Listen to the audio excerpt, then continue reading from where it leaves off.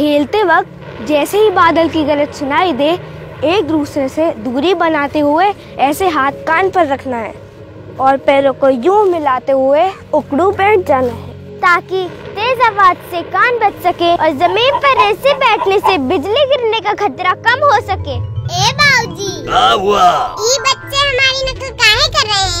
ये नकल नहीं है। बिजली जब बहुत करीब होती है तो ई उससे बचने का तरीका है। अब तुम सर मत खाओ दरबे की तरफ़ भागो। जब भी बादल की गरज सुनाई दे और आसपास कोई मज़बूत छत वाली जगह न दिखाई दे तो तुरंत कान पर हाथ रखकर और एड़ियों को जोड़कर बैठ जाएँ और ध्यान रखें, एड़ियाँ जुड़ी हुई हों। बिजली का खतरा, ऊँचे पेड़, बिजली के खंभों, तारों और पानी में ज़्यादा होता है, इसलिए इन सबसे दूर रहें, तैयारी में ही समझदारी